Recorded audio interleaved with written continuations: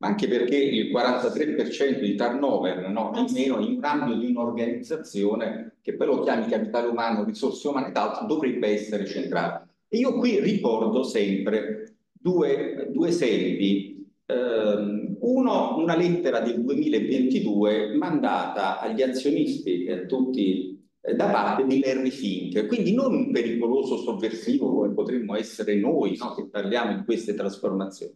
ma in cui il CEO di BlackRock, il che vuol dire il guru del capitalismo mondiale, da cui mi distanzia tanto, voglio dire, sia nel capitalismo finanziario sia anche il patrimonio economico, ma in cui scrive che le aziende che si ostinano, si ostinavano a pensare che si lavorasse cinque giorni alla settimana su cinque. Le aziende non avevano assolutamente la concezione della salute mentale, un tabù, oltretutto in Italia. Eh, le aziende eh, che si ostinano, si ostinano a marginalizzare proprio sulle persone, quindi sui livelli, gli salari, quindi a sfruttare più i lavoratori. Ebbene, lo dice in maniera drastica, quel tempo e quel mondo del lavoro non esiste più. E dà da un guru del capitalismo da un'altra indicazione.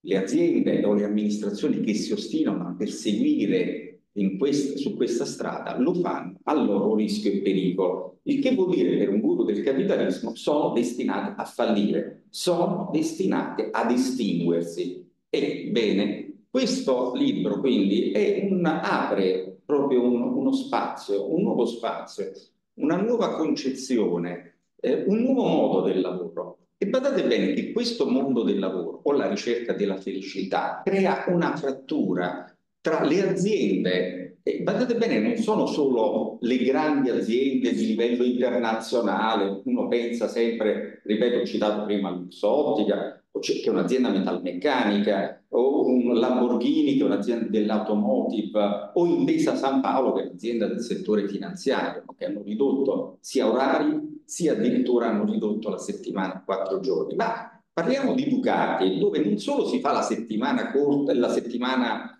il lavoro agile sulla catena di montaggio, ma in cui, voglio dire, si lavora 30 ore si viene pagati per 40 ore perché quello è il contratto dei metalmeccanici. Ebbene, capire che queste aziende non solo non falliscono, no, perché normalmente la prima risposta sono destinate a fallire, ma hanno incrementato enormemente i propri profitti. Oltretutto stiamo parlando di gruppi ovviamente di livello e di reputazione internazionale. Ma noi abbiamo analizzato molto spesso anche nelle nostre inchieste nel, e nel gruppo di monitoraggio che sta affrontando, proprio sta esaminando tutti eh, i paesi del mondo e quindi le varie esperienze, quindi sia in termini di modelli organizzativi, di benessere organizzativo, un'altra delle parole molto spesso sconosciute. Il benessere organizzativo non è il welfare. Se lavori e fai tutta la produzione, lo indicate anche nel libro, poi ti do un qualcosa di welfare, magari la giornata eh, di lavoro da remoto. Esattamente il contrario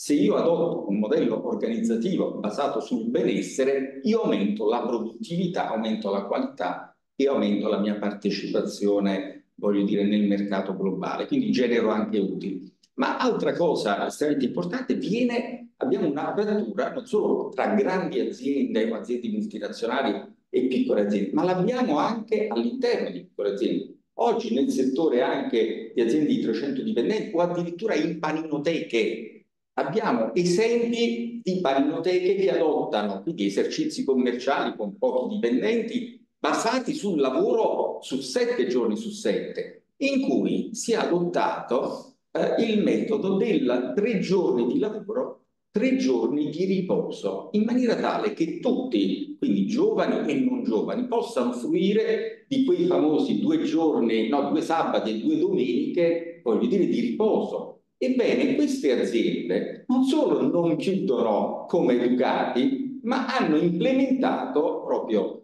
eh, la settimana scorsa, hanno aperto, hanno aperto ulteriori punti vendita, voglio dire, in una catena concorrenziale, voglio dire, ai grandi marchi globali. Ecco, quindi si può cambiare. Si può creare eh, un modelli diversi, modelli organizzativi, modelli soprattutto culturali. Noi dobbiamo cambiare radicalmente quei paradigmi culturali che ci tengono ancorati a sistemi del passato, obsoleti, in, invece è passare a un sistema del lavoro che privilegi proprio la realizzazione voglio dire, delle persone, il coinvolgimento, quell'engagement che è fondamentale nell'ambito sia del coinvolgimento aziendale, ma sia anche del coinvolgimento in una visione. Eh, molto spesso noi abbiamo ancora troppi manager, gli yes men. Eh, questo è, è, la criticità, invece noi dovremmo privilegiare invece degli yes men che ricordo stavano facendo fallire un decennio fa la Toyota, che non è solo una grande azienda, ma era anche un metodo, eppure stavano fallendo proprio perché ci si era circondati troppo degli yes men. Noi abbiamo bisogno di manager critici, di manager che riescano ad aprire la mente e che spingano anche i proprietari, per dire delle tante micro e piccole imprese italiane a guardare in un mondo diverso, in un modo diverso, in un mondo partecipativo in cui vengono coinvolti giovani, non giovani, eh, persone over 50, ma soprattutto le donne, che sono quelle che vengono espulse dal mondo del lavoro dopo il primo figlio, saliamo a oltre il 52% dopo il secondo figlio, ma soprattutto che non possono dare proprio quella creatività, quel modo di intendere una società in profonda trasformazione. E in un mondo in cui abbiamo, assistiamo a un inverno demografico sempre maggiore, in cui anche se invertissimo le politiche demografiche occorrerebbero 25 anni per avere nuovo eh, e nuovi lavoratori attivi, ebbene noi dovremmo porci soprattutto immediatamente che il nostro paese non può più ulteriormente essere impoverito da scelte obsolete, arcaiche, giurassiche, ma dobbiamo evolverci in un mondo totalmente diverso. E questo libro, ripeto, che consiglio a tutti di leggere, è un libro snello, è un libro efficace, un libro dotato anche di quei fumetti, come si suol dire, che alla fine se non la capisci, voglio dire, vedi il fumetto, oppure vedi i tanti esempi e i tanti link che vengono riportati nell'ambito delle ricerche, quindi che non sono solamente Istat, Gallup, ma tutte le varie fonti di ricerca, perché alla fine, se vuoi fare veramente un, il progresso, voglio dire, e vuoi far evolvere la tua azienda, la tua attività, il tuo modo di competere globalmente, è bene che ti adegui anche altrimenti, perché il rischio è l'estinzione anticipata. Io ringrazio sia Daniela Di Ciaccio sia Verusca Gennari per questa importante chiacchierata. Mi auguro che, ripeto, su questo tema possiamo farne tante altre e mi auguro oltretutto di avervi presenti in altri eventi, ma auspico anche un vostro prossimo libro per, per, nuove, per nuove frontiere e anche per un aggiornamento su che cosa, su che cosa l'essere umano ripeto, potrà riuscire a realizzare. Io hai citato prima, citava Verusca, l'intelligenza artificiale. Io dico sempre che in un mondo che sta eh, rischiando di essere travolto dall'intelligenza artificiale, noi più che preoccuparci dell'intelligenza artificiale dovremmo preoccuparci molto di più della stupidità naturale che continua viceversa a governare questo sistema di lavoro e questo sistema organizzativo italiano. Grazie a tutti, alla prossima. Grazie, grazie, grazie, grazie.